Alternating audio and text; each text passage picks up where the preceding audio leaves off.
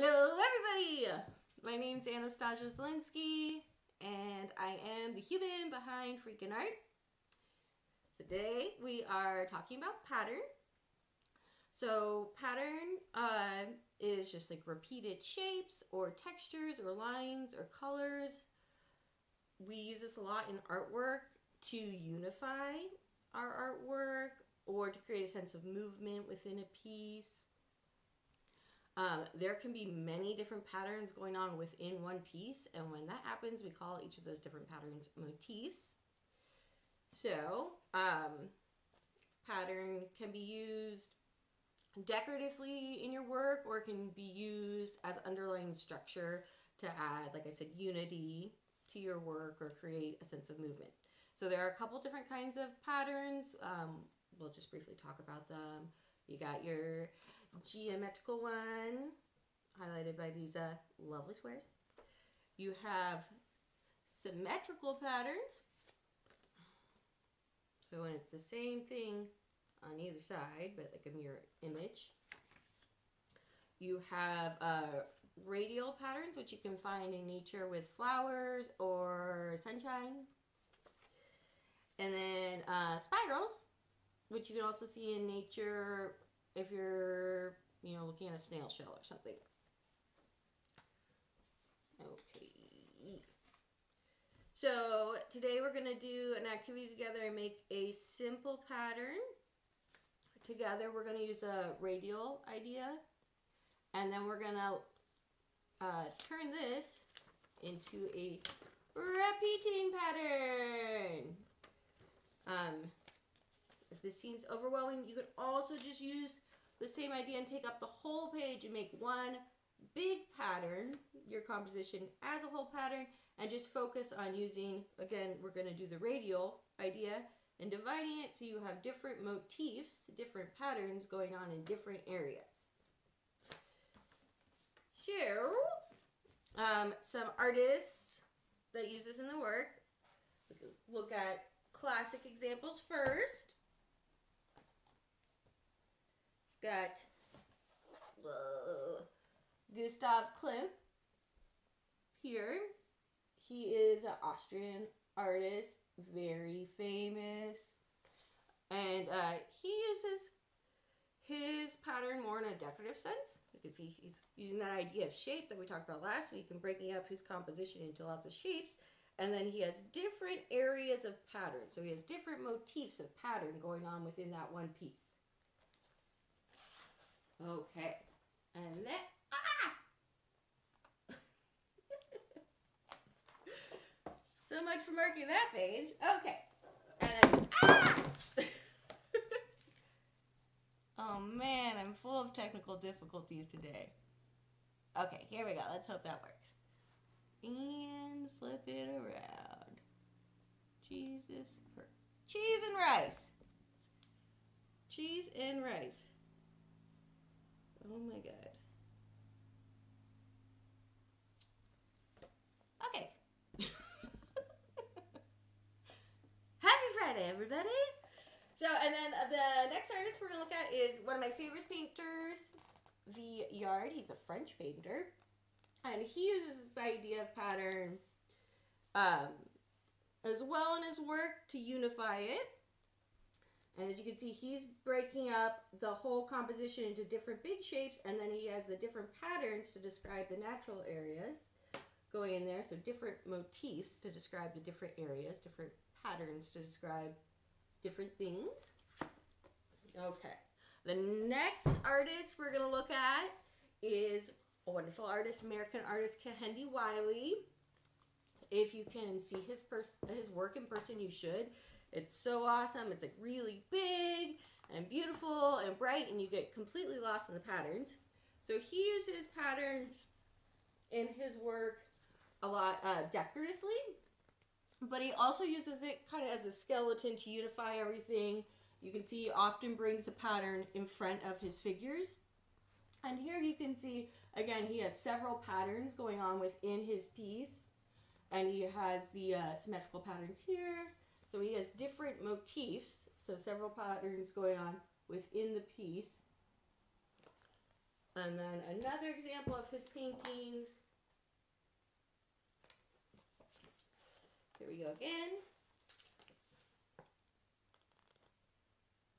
And so this, again, he's using it more decoratively or as a skeleton to tie the whole piece together, uh, bringing that pattern up in the foreground as well. Um, another amazing artist who's contemporary artist, Yayoi Kusama. She's Japanese. Um, if you get to see her work in person, you totally should. Her installations are amazing. Her paintings are big and bright and beautiful. So she, in some of her paintings, she's taking up the area and dividing it into different shapes and then creating different patterns within the painting. So every different area she uses is an opportunity to make a different motif. And then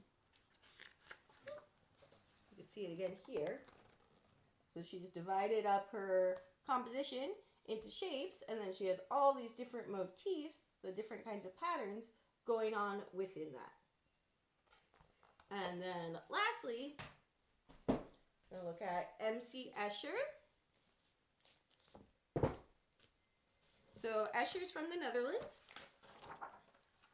He's probably one of the most famous pattern makers.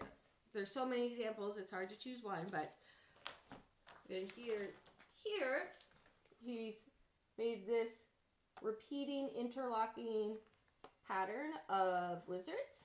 And then I want to show this one because this is his sketch of the pattern. And then here, you can see it showing up again, the pattern in his piece. And then he's taken that idea, that repeated shape of the lizards, and he has them actually walking around his still life.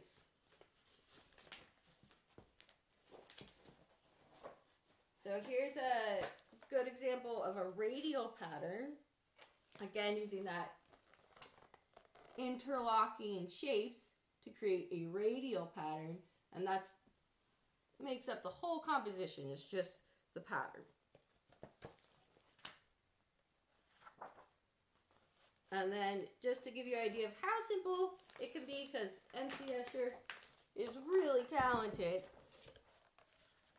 and we can't all draw like that. But see, he's just broken it down into shapes. Again, this is a radial pattern of interlocking shapes, and they're bigger in the center, and then they get smaller as they go out.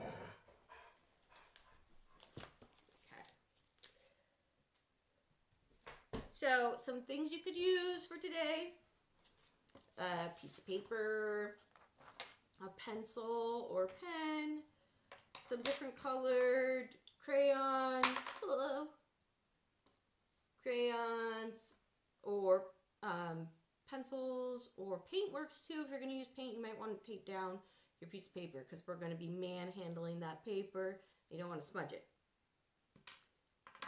Um, and then we're going to want some circles to trace. I have a quarter and then a tin, um, a couple different sizes. We're going to be doing radial patterns.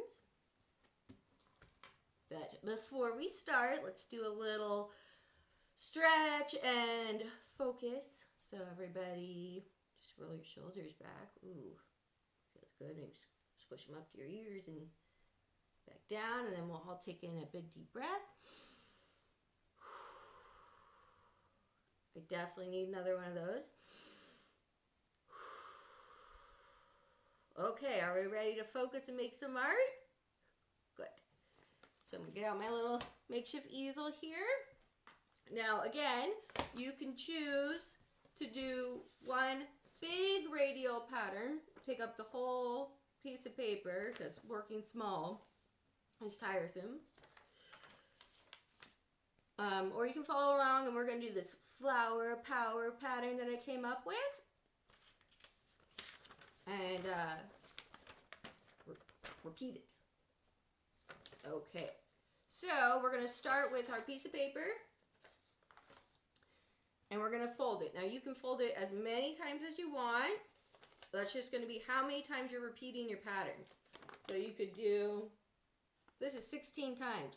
These are really tiny, so you'd have to make a really simple pattern or have a really fine pencil or something, or just do super simple pattern if you wanted to do it that many times. I'm just gonna do uh, my pattern repeated four times. So I'm gonna take my piece of paper and fold it in half one way. Now, it doesn't have to be perfect. We're not computers. If you want it to be perfect, you can use your ruler or straight edge to measure it out. Okay. So we folded it in half one way and then we folded it in half again. Now, like I said, we're going to do a radial pattern. So I'm going to start with a big circle. And just try to get it somewhere in the middle. You might want to start by tracing with the pencil. I'm going to use a Sharpie so you guys can see everything. And also my crayons are getting down to their last nubs here. So, got this circle going. Uh, looks nice. Now remember, we want to keep our original pattern, the, the base pattern, pretty simple because we're going to want to try to repeat it. Next, I take my quarter and just visually place that where I think the middle is. And again, you can make this as exact as you want. You can make a whole grid so your pattern's perfect. Perfect doesn't really matter to me. I like the wobbly. I think it adds like a, a good amount of energy to something when you don't have perfect lines and perfect shapes. But that's just me. I've never been really good about coloring in between the lines. So, so I have my two circles. Um, next, I'm to decide to divide this into four different areas behind it because I want to have opportunity to do different motifs, different patterns within my piece. So I'm going to start probably with the center here and do a spiral.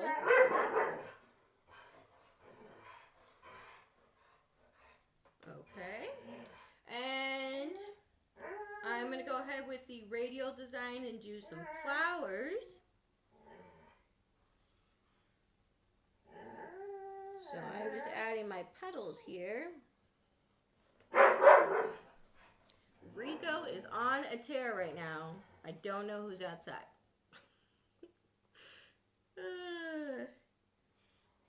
so again, you don't have to have your pattern look exactly like my pattern.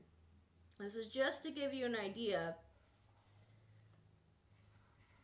of how we can create our own pattern using simple shapes and use it to unify our artwork.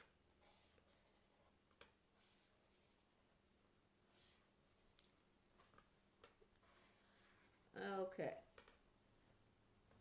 So next I'm going to think about a motif I want to have in each side. I'm going to go ahead and do polka dots because I love polka dots.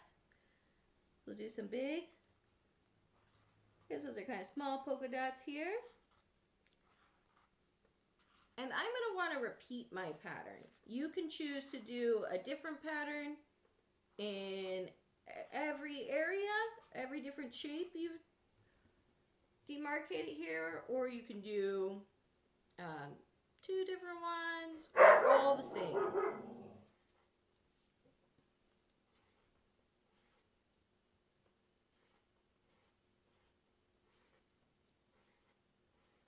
Now, we should think a little bit about our colors we're going to use as we draw out our different motifs and patterns here.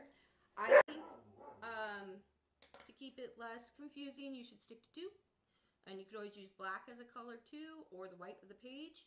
And uh, I got out two different color choices here. I got some complementary colors.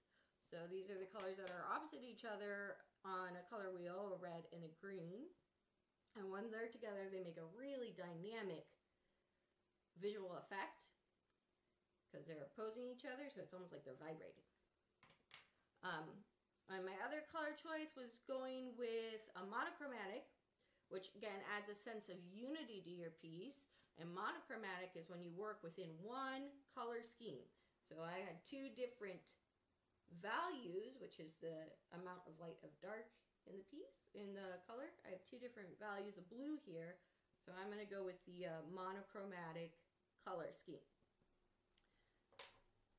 So again, um,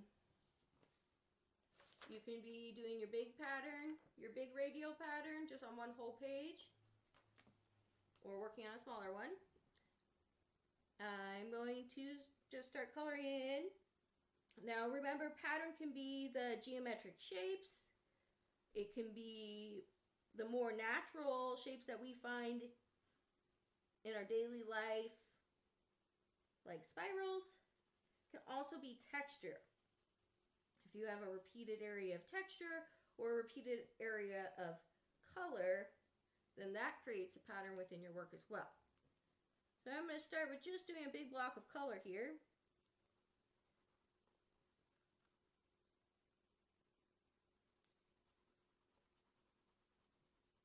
And obviously the longer you spend on your piece, the more detailed it can be. Um, you could have cleaner, sharper edges. You know, but this is just to give you an idea of where to start. Um, so next I'm going to take, uh, take my dark blue here. I'm going to go inside my polka dot motif on these two corners here.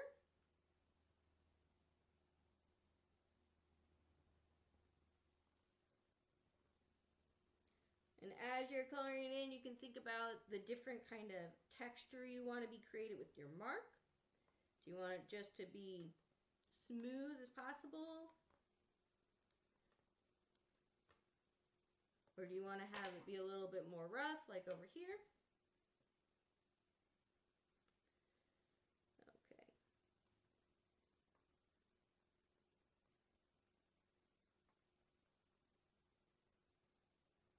So the more time I take on this, the nicer it would look.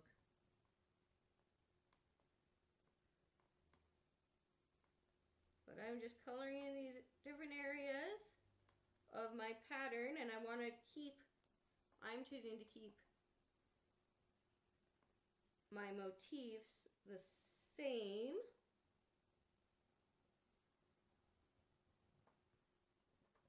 But you can switch it up, the colors within the motifs or within your final pattern here.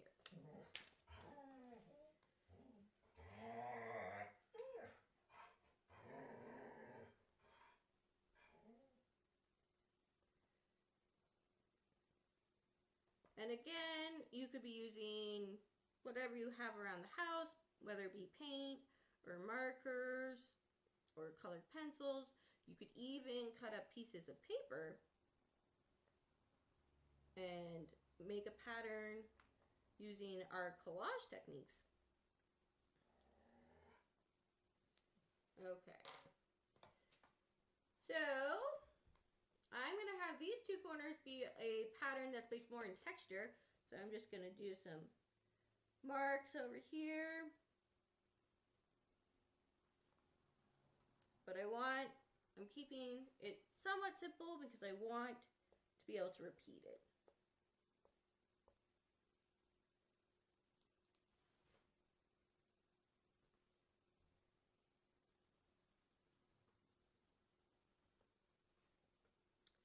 and limiting ourselves to two colors in either a black or a really dark third color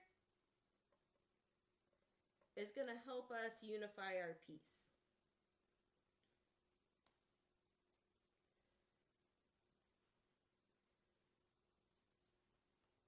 Okay, I don't think I'll have enough time to color in the whole thing.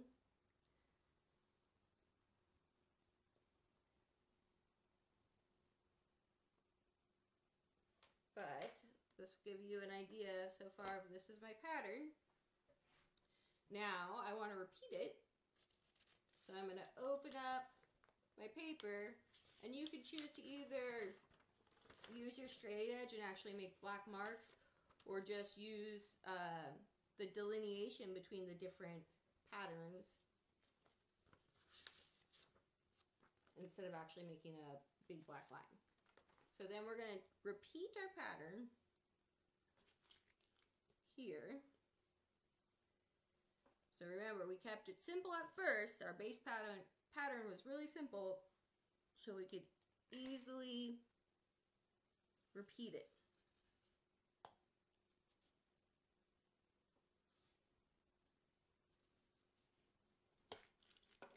Circle. Let's put another circle in the circle.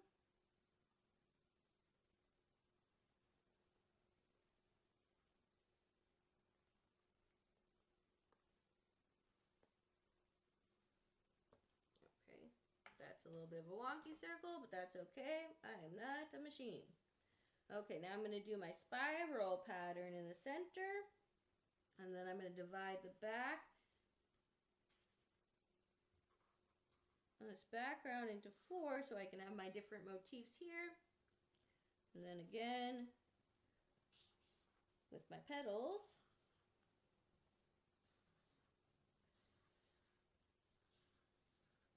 Which these shapes here, you know, you can choose to have them be individual shapes or you can make it just some mark making. It's completely up to you.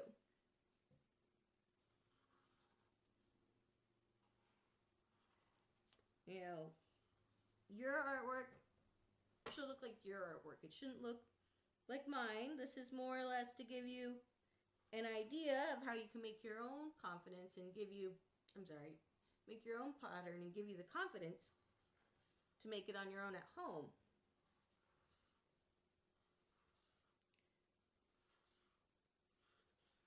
Okay, so I have my flower, and then I'm going to look on my original pattern I did. I had the polka dots on the far left square, so put in some polka dots here.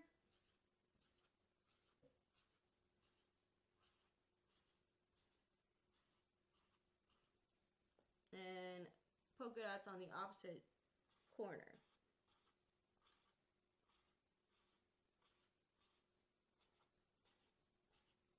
Again, if you wanted perfect circles, you could get a penny or something and trace it.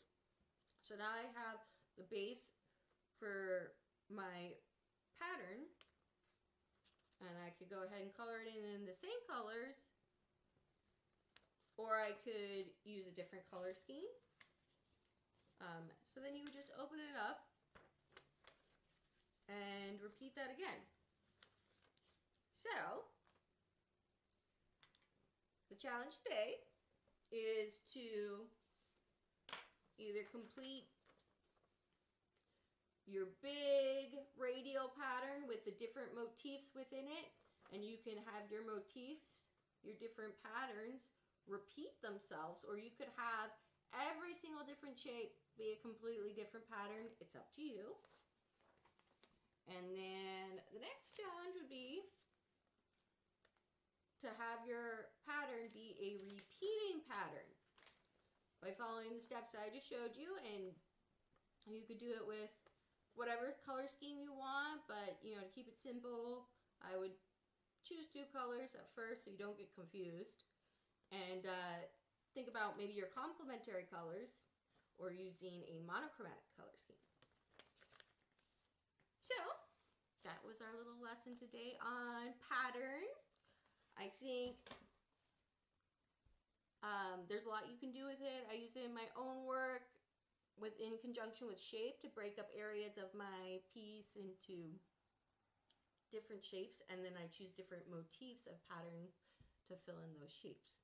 So it's a really good tool that we can use to help unify our artwork and create a sense of rhythm and balance within it. Now, if you don't feel like drawing, uh, another thing you could do is you could walk around outside or in your yard and uh, or even around your house and see the different patterns that you have around your house. Maybe you can find a radial one like I did on my sarong here with this sun. Or maybe you will find a symmetrical pattern like this. Or something that's more organic and natural. So let me know. I would love to see the artwork you make, so please tag me in all your creations that you do make. And if you don't make anything, that's totally fine. You, this video is going to be up on YouTube in case you feel inspired to make some artwork later. And again, if you can donate, please do. Venmo is at Anastasia Zielinski. PayPal is Tasha8. And I will post this information with uh, the artist that we looked at today, along with the link for the YouTube video here in about an hour. So, thank you guys so much. I hope you have a wonderful afternoon and a beautiful day. And thank you for making art with me. I'll see you guys next week. Bye.